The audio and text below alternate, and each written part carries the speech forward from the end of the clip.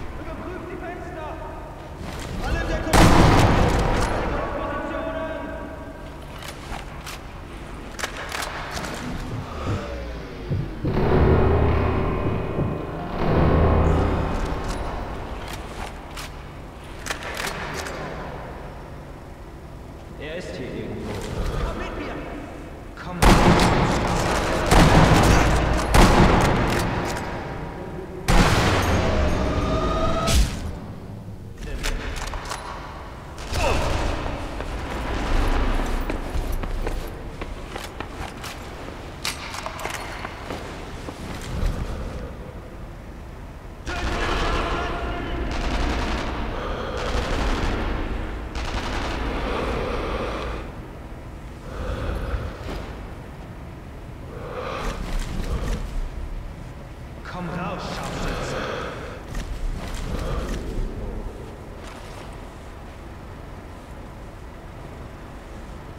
Sucht ihn.